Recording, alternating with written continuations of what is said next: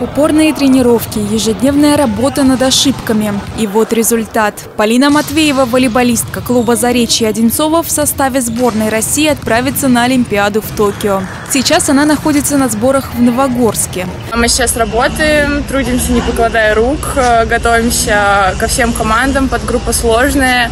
Э, Мы э, тренируемся, разбираем каждые команды и надеемся на хороший исход. Командная работа, отточенная техника, эмоции и поддержка болельщиков. Вот что, по мнению Полины, должно привести к победе. Для юной волейболистки поездка на Олимпиаду – отличный шанс показать свое мастерство на международном уровне. Высокий рост, хорошие данные, молодая девочка. По-моему, э, моложе только на Олимпийские игры ездила у нас Екатерина Гамова. Поэтому в свои 18 лет э, так, такое дается, наверное, э, один раз.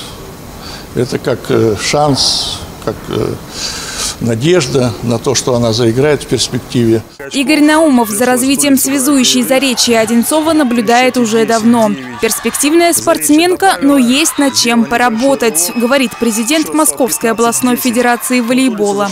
Подача у нее хорошая. Э, Единственное, хотелось бы то, что она молодая и высокая. Хотелось бы, чтобы ножки у нее двигались немножко побыстрее, потому что с нашим приемом сборной России на данный момент, как я смотрел игры Лиги наций, э, конечно, прием немножко у нас страдает. На счету Полины Матвеевой много спортивных достижений. В 2018 году она стала лучшей связующей юниорского и молодежного чемпионатов Европы, а также одержала победу на континентальном первенстве среди девушек. С такой связующей у нашей сборной есть все шансы на победу. Главное сейчас – это вера и поддержка болельщиков. Эмилия Аркелян, телекомпания «Одинцова».